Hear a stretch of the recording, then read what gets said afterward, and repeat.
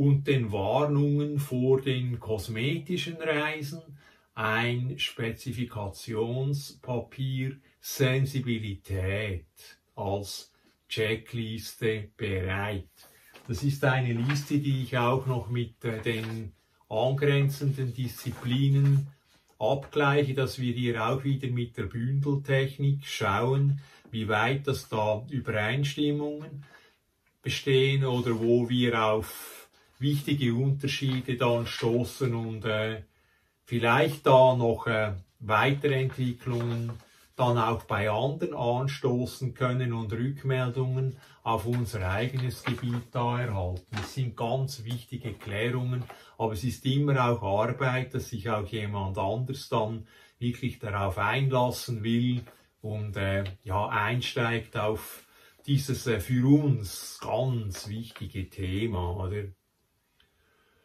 Dass Wirklichkeit bzw. Illusion am Schluss nur durch den materiellen Beweis haben erkannt, respektive auseinandergehalten werden können und dies auch bei einer Schwere von massiven körperlichen Phänomenen, zeigt, dass man sich persönlich und als Kultur in dem, was materiell nicht beweisbar ist, sehr, sehr täuschen kann und dass denjenigen, die uns über materiell entfernte Sachverhalte informieren, namentlich die Journalistinnen und Journalisten,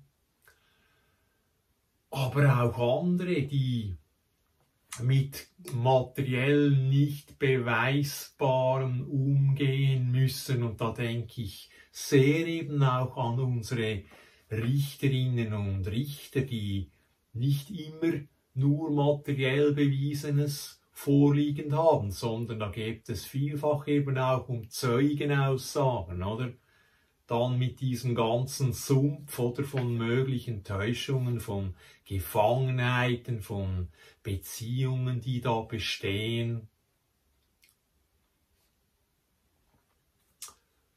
Die müssen wirklich ganz sauber sein, oder wie sie methodisch auch die Dinge angehen. Es ist mir ein großes Anliegen. Leider müssen, muss ich auch, müssen wir auf negative Beispiele auch in der Schweiz hinweisen dann. Tut mir wirklich, es tut mir wirklich weh. Ich glaube, da müssen wir, hoffe, dass wir da einen Schritt weiterkommen, auch mit einer Informationsoffensive, die dann auch ein bisschen später dann noch kommt. Das sind auch, ist auch ein laufendes Verfahren und ich möchte da nicht jetzt äh, vorgreifen. Ähm, da geht es natürlich dann auch um die Psychiatrie, oder, die, sich da angedient hat der Gesellschaft und sind ja die, diejenigen, die dann die schwierigen, psychisch schwierigen Probleme für die Gesellschaft lösen müssten, oder? Bis zur Gerichtspsychiatrie. Wir haben da auch einschlägige Aussagen von Frank Urbaniok, ganz wichtig, oder? Wie es da falsch läuft in der Gerichtspsychiatrie. Also nicht überall, oder? Es, es gibt sicher auch Dinge, die gut laufen, aber da muss jetzt wirklich auch einmal substanziell dort das aufgearbeitet werden, wo Frank Urbaniok wissenschaftlich korrekt den Finger drauf hält. Sonst bleibt das eine Schmutzdisziplin, oder? Wer will denn heute schon Psychiatrie studieren in der Schweiz, oder? Deshalb haben wir dort sehr viele, die gerne in der Schweiz arbeiten kommen, das ist auch okay, aber die, die Psychiatrie hat so, ist derart marode, oder? Es ist wirklich Schmutz, oder? Also auch nicht alle, Entschuldigung, oder? Aber die Disziplin ist verdorben und die Erfolge, die sie vorweisen können, das ist mehr oder weniger ein, ein, ein, ein krankes Chemiewesen dort, oder? Man muss sich einfach einmal vor Augen halten, wenn Bauingenieure auf die gleiche Weise kutschieren würden wie Psychiater, die wären im Knast.